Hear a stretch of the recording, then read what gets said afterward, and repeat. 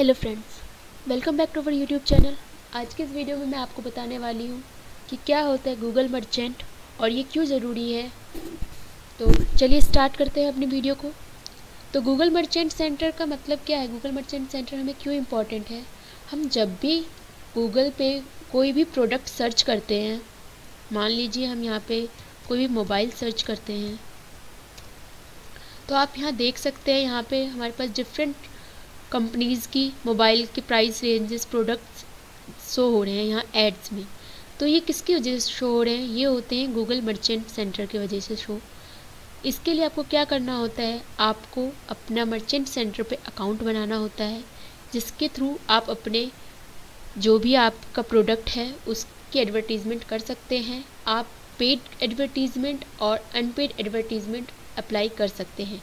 जैसे कि आपको यहाँ पे जो एडवर्टीज़मेंट दिख रही हैं, ये पेड एडवर्टीज़मेंट्स हैं और आपके पास ये शॉपिंग का टैग ओपन हो जाता है जिसमें आपको ये सारी चीज़ें दिखती हैं। ये जो ऊपर की साइड आपको एडवर्टीज़मेंट्स दिख रही हैं, ये पेड एडवर्टीज़मेंट्स हैं और ये जो नीचे आपको दिख रहे हैं, ये अनपेड एडवर्टीज़मेंट्स हैं। तो ये आप कैसे अप्लाई कर सकते हैं? तो चलिए, मैं आपको बताती हूँ कि आप कैसे मर्चेंट सेंटर के लिए अप्लाई कर सकते हैं।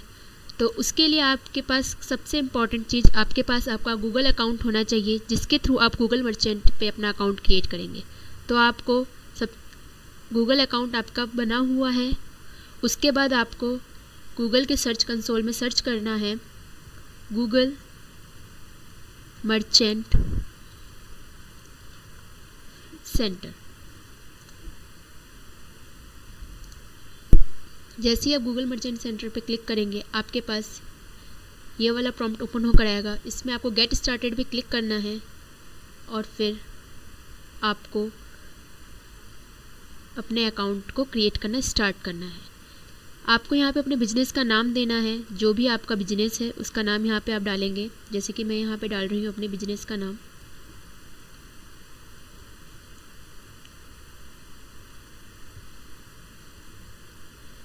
उसके बाद आपको बिज़नेस कंट्री डालनी है, जो भी आपकी कंट्री है, मेरी इंडिया है तो मैं इंडिया अप्लाई करती हूँ।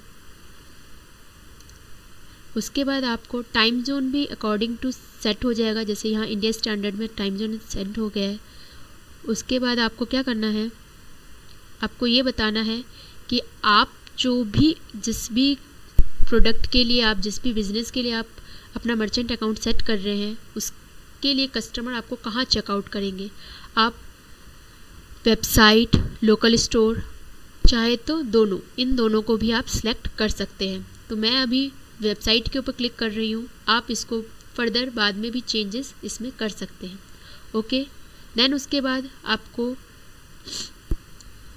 देन उसके बाद आपको क्या करना है? आपको ये अप्लाई करना है कि शॉपिफाई पे आपकी अकाउंट होगा या फिर पेपल पे, या फिर आप इसको भी चेंजेस कर सकते हैं। मैंने यहाँ पे पीपल सिलेक्ट किया है। देन उसके बाद आपसे ये पूछ रहा है कि आपको मर्चेंट सेंटर में ईमेल्स जो भी आपके मर्चेंट सेंटर से रिगार्डिंग मेल्स होंगी, वो आपको क्या क्या देंगी? तो invitation to test new features means जो भी नए फीचर्स आएँगे, उसके लिए आपके पास इनविटेशंस आएँगी। ये अपने आप ऑटोमेटिकली इसने टिक कर रखा है। और मुझे यहाँ पे बेस्ट प्रैक्टिस के लिए टिप्स भी चाहिए तो मैं इसके लिए भी इसको सिलेक्ट कर लूँगी।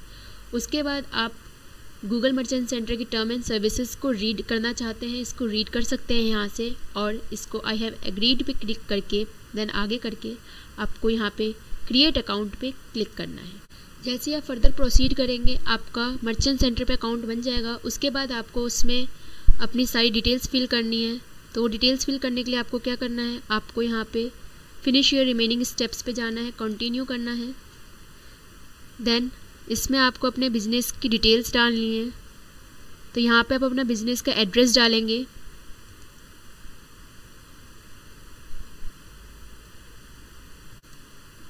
आप यहाँ पे अपने बिज़नेस की डिटेल्स डालेंगे। City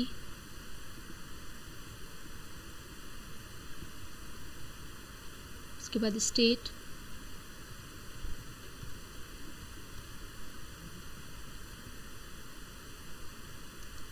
pin code.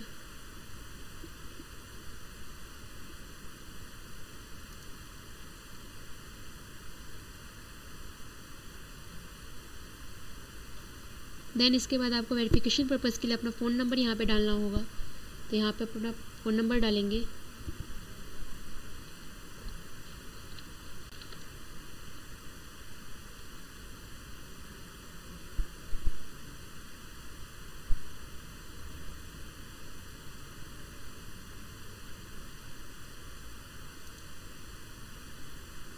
सेव पे क्लिक करेंगे। और यहाँ पे वेरीफाई नंबर करने के लिए आप वेरीफाई नंबर करेंगे। तो आपके पास ये प्रॉम्प्ट खुल के आएगा कि आपको टेक्स्ट मैसेज चाहिए या वॉइस कॉल चाहिए। तो आप text message voice call according to you आप सिलेक्ट कर सकते हैं। देन कंटिन्यू उसके बाद आपके पास सिक्स डिजिट का वेरिफिकेशन कोड आएगा, जिसे आपको यहाँ पे वन मिनट के अंदर में सबमिट करना होता है। देन आपको अपना कोड डालने के बाद फिनिश करना है। तो आप देख सकते हैं, हमारा जो फ़ोन नंबर है वो वेरीफाइड हो चुका है और हमारी जो बिज़नेस की इन्फॉर्मेशन है वो ऐड हो चुकी है। देन उसके बाद आप कंटिन्यू करेंगे। अब इसमें आपको अपनी वेरीफाई अपनी जो आपका वेबसाइट है उसे क्लेम करना है। तो यहाँ पे आप अपनी वेबसाइट का एड्रेस डालेंगे। आपको वेबसाइट का एड्रेस पूरा डालना है, जैसे यहाँ पे एच के साथ डालना है। उसके बाद आपको कंटिन्यू पे क्लिक करना है। जैसे ही आप कंटिन्यू पे क्लिक करेंगे, आपका यहाँ दिख रहा है, मेरा क्लेम सक्सेसफुली हो चुका है वेबसाइट ऐड हो चुकी है मेरी। आप इस तरीके से ईज़िली अपने वेबसाइट को इसमें क्लेम कर सकते हैं।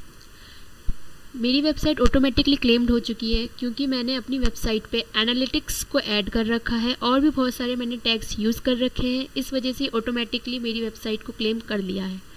अगर आपका ऑटोमेटिकली क्लेम नहीं करता है तो आपको कुछ नहीं करना है। आपको यहाँ से अपनी जो जो भी आपकी आईडी है, उसको लेकर अपनी वेबसाइट के हेड टैग में हेड के अंदर मेटा टैग के अंदर उसे सबमिट करना होगा और देन आप यहाँ पे कंटिन्यू करेंगे तो आपकी वेबसाइट क्लेम हो जाएगी और वो मर्चेंट सेंटर में ईजिली वेरीफाइड हो जाएगी।